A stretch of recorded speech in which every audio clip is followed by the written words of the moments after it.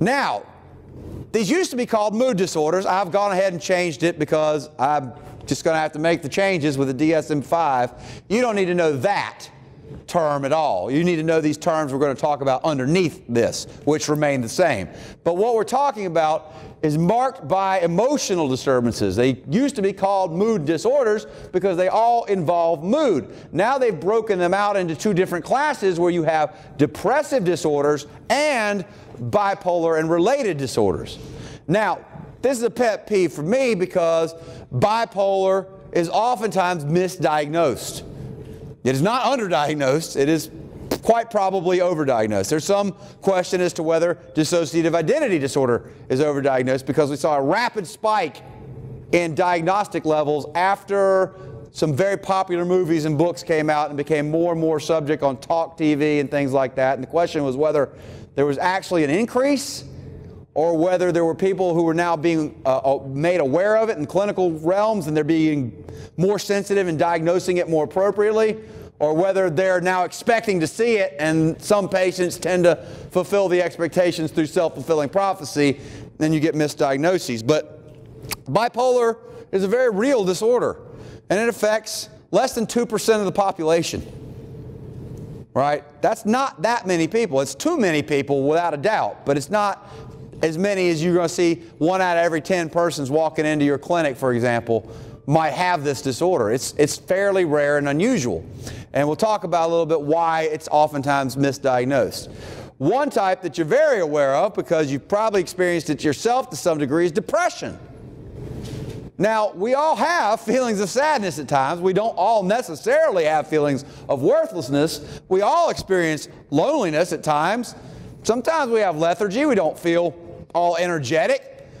Occasionally you lose interest in something you thought pleasurable. Uh, maybe you have issues where you eat a lot more than you usually do, or you eat a lot less than you usually do, and maybe sometimes you have problems sleeping and can't sleep as much, and sometimes more, but, but not usually a lot of those things together persistently at such a level that it impairs your ability to enjoy your life fully or engage in daily activities functionally.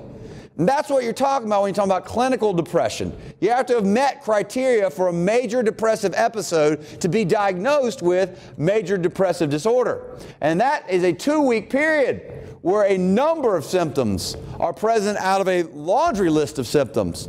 And what's really interesting with these symptoms is they're very different sometimes between different people, but it manifests the same disorder. So that some people have profound sadness, but not necessarily worthlessness, and they're lonely, uh, but they haven't lost interest in everything, and they've got problems sleeping. So you look at these as individual manifestations of this general disorder, and you have to be very careful that you go through these various symptoms to make sure that people have had them for the requisite criterion amount of time and that they are at a level that is clinically significantly impairing their lives because all of us deal with depression. Sometimes it's a natural response. It would be weird if you weren't depressed after certain kinds of events in our lives. But not so pro- but that would be a normal human experience, not a clinical disorder, right? It would be a clinical disorder if it persisted way beyond what most people require to get over such events or to get past such events, maybe not over. But with some people, let's say eating, some people are profoundly depressed, eat a lot more so, what do you mean changes in eating? Like a change of 5% of body weight without an attempt to do so, gaining 5% of one's body weight or more. But other people can't eat. They actually don't feel hungry while they're depressed and they lose weight, but they're not dieting, they're not attempting to lose weight. And so, in that sense, 5% of a decrease in body weight or more would be significant and looked at. For other people, when they get really depressed, they can't hardly get out of bed. They don't want to get out of bed and they might sleep 10, 12 hours a day or more. Other people can't sleep at all when they're depressed. All right, they have insomnia and it's very difficult to get to sleep. So here we are looking at opposite ends of the same behavior being symptomatic of depression, potentially. And so you need to look through those systematically and talk to each person individually before you make any kind of diagnostic uh, claim. The flip side of this is mania. This isn't sad, this is woo! Feeling good, feeling great, feeling too good, too great, not due to a substance. Cocaine will do that. Woo! We'll talk about that. But that's due to the effects of a substance, and you will come back down very quickly as soon as the dose wears off. This is going up and staying up. These have to be departures from normal experience. This isn't just somebody who's really happy and chipper, right? This is going way beyond that. We're looking at feelings of excitement, elation, euphoria, grandeur, which means everything seems relevant to you, right? And you're relevant to everybody and everything. Unrealistic optimism, high energy, lack of logical thought, lack of a need for sleep.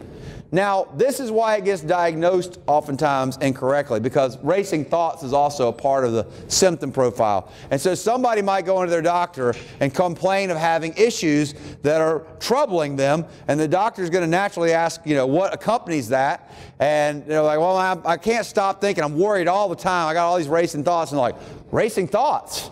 That's one of the that's one of the criteria. And like, yeah, man, and I can't sleep. I really can't sleep. Lack of sleep. That sounds like mania. But you got to be careful. Differential diagnosis is important because racing thoughts can be indicative of an anxiety disorder, like generalized anxiety disorder. Lack of sleep could be caused by racing thoughts. One can't stop thinking about things that worry one. They can't relax enough to go to sleep. Or it might just be primary insomnia. It might just be trouble sleeping. In mania, it's lack of a need for sleep. These people stay up and they don't feel like they're tired. It's like they're on amphetamines. And if you know anything about amphetamines and abuse of amphetamines, you see that people don't sleep sometimes for days on end. Well, they're not necessarily abusing any drugs, although the impulsive behavior might include drug use. It might include um, dangerous, reckless behavior. It might include indiscriminate sexual activity. It might include uh, spending money one doesn't have running credit cards up or gambling debts up and things like that. Because in this period, distinct period of major elevation in mood, people start doing things without regard to consequences. And the longer they stay up, there's an interesting parallel between amphetamine abuse and mania. You become more and more toward the psychotic end of the spectrum of, of reality and become less and less reality based. People on amphetamines become very paranoid. And the longer you stay up, eventually you'll have what they call sleep deprivation psychosis. You'll start seeing little flickering things in the peripheral vision, and you might even hallucinate, and eventually you'll microsleep because if it's just about sleep, you'll fall asleep, but they're not falling asleep. And the longer they stay up, the more departure you get from reality, and it's dangerous. And so, where depression requires a two week period of distinct change from normal mood that meet full criteria, for the episode. Mania only requires one week unless hospitalization is needed earlier. Because if somebody's doing behaviors that can be putting themselves at danger or other people at danger, that becomes very problematic. There's also bipolar 1 and bipolar 2. That's a distinction. We'll talk about it. Major depressive disorder, then, is what I said. You have to have this excessive despair, excessive sadness, that has to be there. You have to have a loss of interest in previously pleasurable activities and a whole other set of symptoms that go with that. Those are fundamental, but you need additional symptoms for at least two weeks. Having had that episode diagnosed, you could then be di- diagnosed with major depressive disorder. It's about a 50 50 shot as to whether you'll have another episode of depression. Interestingly enough, when we talk about treatment, about 85% of all depressions will remit on their own. They'll go away on their own if you do nothing within six months. But who should suffer for six months if we have treatments that will bring relief quicker than that? And we do have treatments, both medical and psychological treatments, that can bring much quicker relief. And so, in this sense, having these core symptoms, departing from one's normal mood to a level that it's clinically significant and causing functional problems or suffering for the person, bring them into treatment can be very, very, very helpful. Right? They met criteria, whatever the treatment may be, but we'll talk about treatment more extensively in the next part of this section of material.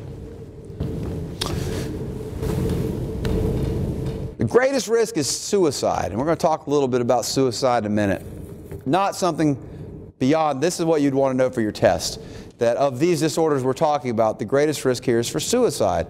Now, there's a suicide risk that's elevated for schizophrenia and for bipolar because it also includes depression. There's also suicide risk for all kinds of other things like substance abuse and, and, uh, and other disorders. But Depression leads oftentimes to a despair that is so profound that people wish themselves not to be alive. And if they make that attempt, it can be devastating. If they make that attempt a completion, that's awful because you could treat this. You could almost always treat this if you can get them to the resources they need to get to. Bipolar disorder used to be called manic depression. Manic depression is a frustrating mess, if you're familiar with Jimi Hendrix. So the old school term was manic depression. Well, that's what it is. That's a pretty descriptive term. Bipolar, between mania and depression.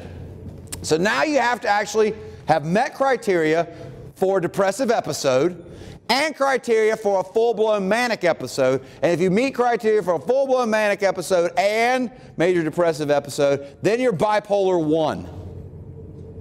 Right?